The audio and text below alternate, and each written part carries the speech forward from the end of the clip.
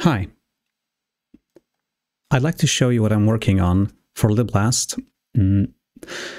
And that is a asset workflow, especially for environment art, and an Uber shader that enables this workflow.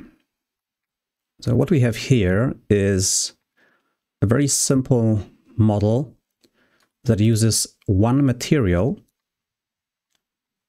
um,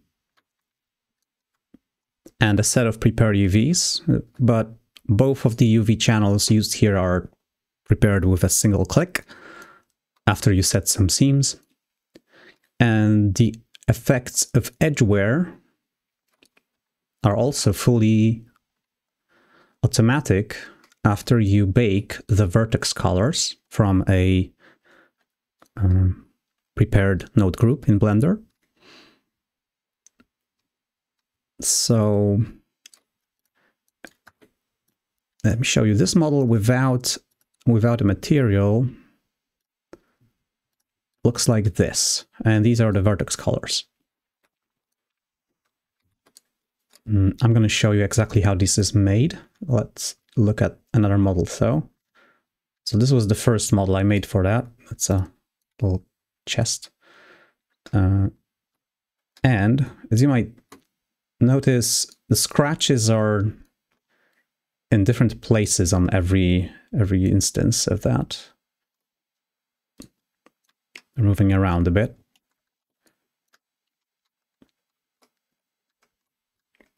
And that's just uh, one effect of of doing this procedurally. So an artist isn't placing like all these scratches and marking edges for to be worn. These this is figured out um, automatically, and the artist can tweak the parameters of the what was found generated automatically. For example, here is an edge mask. Uh, let's see. So I'm going to make this material unique so that all the parameters here are not affecting the other models. So we have base material. The base material is our general metal texture, which provides a subtle normal, some roughness in the base color. We can modulate the base color with an albedo parameter, and I'm making it darker here. There's a bunch of settings here. Uh, there's an option to remap the roughness, uh, the metalness as well. So now we're made the base material fully metallic and very smooth. You can make it full metallic and very rough. Or we can make it semi-rough and non-metallic. This is half metallic. Let's make it fully non-metallic. So this is a painted metal, a metal painted gray with edge wear revealing steel underneath. Mm. There's an option also to like make the normal map stronger, normal map of the base material stronger uh, which for this example is just very, very... Oh, actually it affects all normal mapping. Okay, that's no good. I need to change that. Right, then we have edge effects. And edge effects is crucial. You see, without edge effects, this looks like a block, because that's what it is. And edge effects adds a special little uh, atlas texture, which was prepared in Material Maker and mapped in Blender using in the add-on Dream UV. And this maps every face to its closest rectangle in, in this atlas. And this creates fake beveling. But not just fake beveling, this also provides information for edge wear, like where are edges? So if I disable the edge effects, you can see we still have scratches and stuff, but this is now only based on vertex colors. Mm. However, we can enable edge effects and still don't use them in making of the of the texture. Here is our scratch texture. That's gonna be, I think that's gonna be a channel packed mask um, channel pack texture for multiple different effects, maybe rust, dirt, uh, maybe, I don't know, water dripping, stuff like that. I don't know. Uh, lots of options still. And then we have procedural effects, edgeware mask, and this is where we build our match, our the mask and effects uh, edgeware.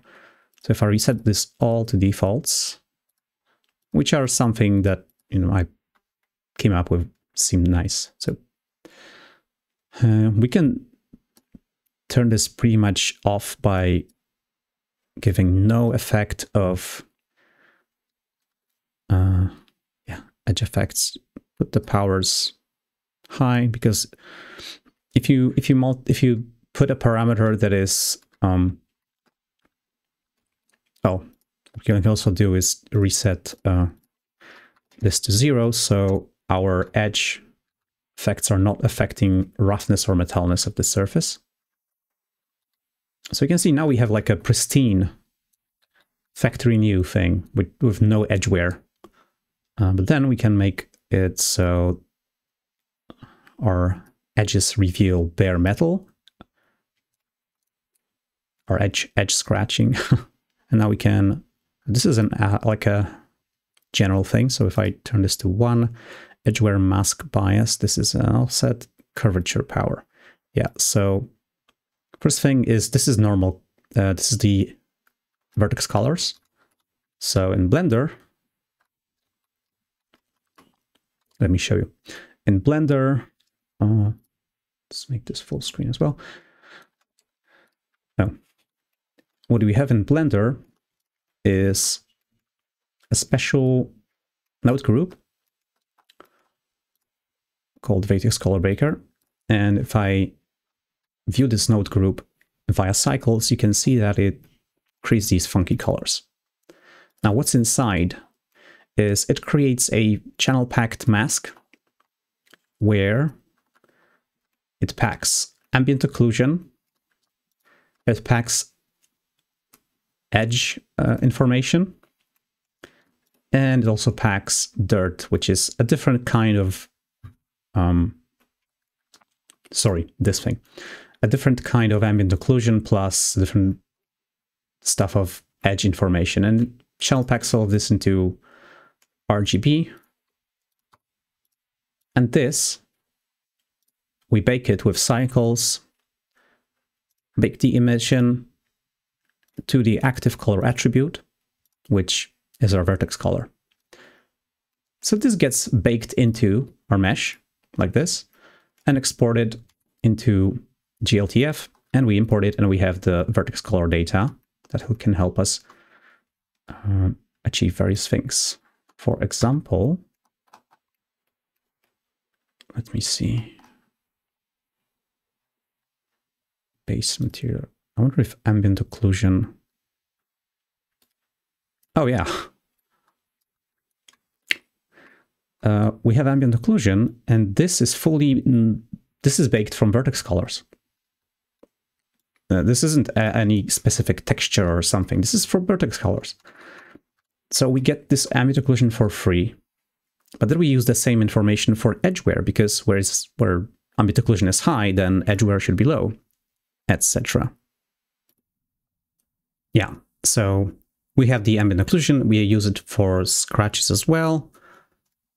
Mm, there's also other effects that will be possible, like dust settling from the top, dirt that accumulates in the crevices, uh, potentially rust working similarly.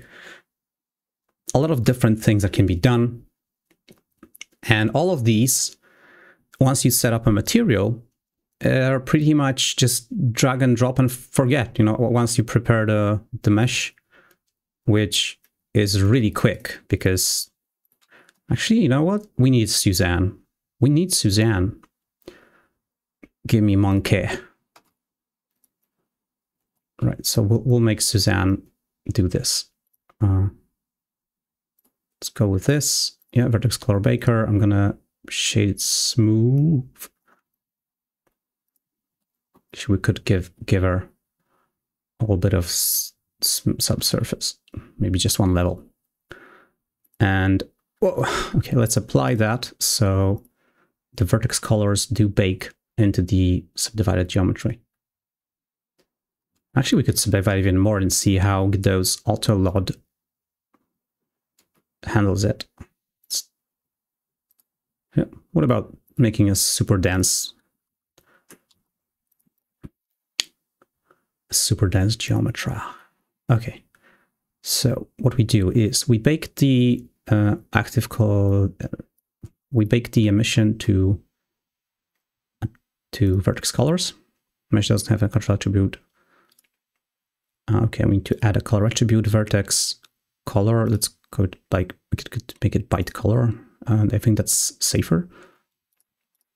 Um, bake. Well, actually, we just need um, 64 samples maybe for ambient occlusion and stuff. Doesn't need to be this expansive. Right, and now this is baked in our vertex colors. Uh, now we need to UV unwrap this. So one thing is edge, edge effects. So this is uh, UV1, this is UV2, which I, oh no, it's, uh, okay, which is reserved for light maps and UV3. Now in our shader, we can configure which UV channel does what. For example, there is something called UDIM variants, which means that we can vary, vary different parameters of the material based on our UVs and how they are displaced. And we can define up to eight different variants. And we can say which one, which UV channel we use to like determine these. Oh, what did I do? That was weird. So yeah. This is on channel zero. And we use the same channel for edge effects, texture channel here. The base UV channel, uh, texture UV base channel. Oh yeah, actually it should be our channel two. Yeah, channel two. That's right. Right, so uh, it's going to be hard to find any edges here. But what I'm going to do is try to smooth it by angle.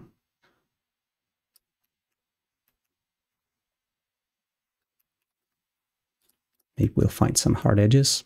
I don't think so yeah, this, as you can tell, this is mostly meant for uh,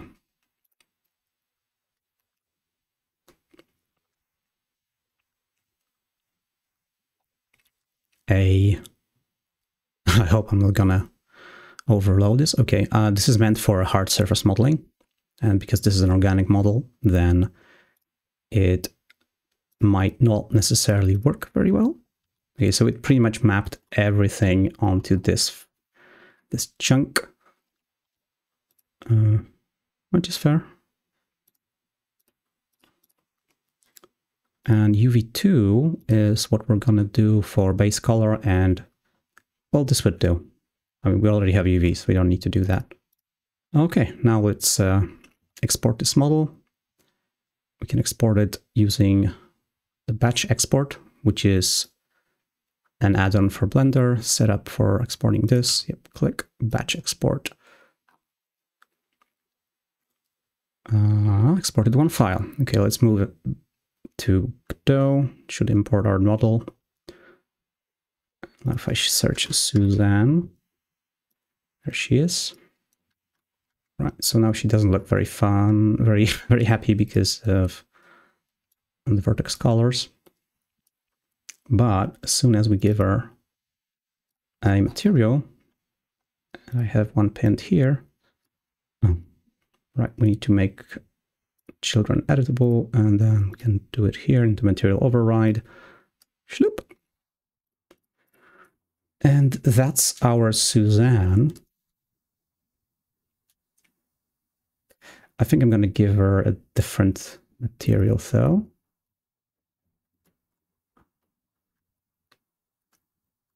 right. Okay, we can see a few things. I'm going to make this unique. And base material, textures, UV channel. It's going to be second one. Yeah. And we could make this UV channel a little bit denser. So to multiply by four. And now you see we have our paint scratched off out the pointy stuff, on the pointy edges, right here around the eye holes, which is a little bit weird. I'm going to rotate her so we have a little bit of a different lighting. Yeah, it looks kind of weird, but as you can see, it does work. Now, if we want her eyes to be different, uh, what we can do is go to UV1 again. Actually, yeah, UV1. And let's select our eyes. Lup, lup. And now I'm going to GX1. Move it to the second UDIM in X direction. And we can also make her ears. Okay, now let's just go her eyes. Q, batch export, because I added to these favorites. And there we go. Her eyes are now on a second UDIM. And that means in the material, we have the UDIM variants and variant 1. This is what we can do with our eyes now. Can make it metallic override roughness power. So this makes our eyes smoother yeah, that's the very basic of how you can use this to quickly make a model that fits the, the rest of the environment and um, has some wear and tear. And once we add, once once we have dirt and dust added to that, uh, I think it's gonna gonna be much much nicer still, and should allow artists to really whip out environment art for Liblast very, very fast, which means we'll be able to build a nice environment for players to have fights in. Yep. That's all. Thanks for watching, and I'll see you in the next video with the Blast Dev update, I guess.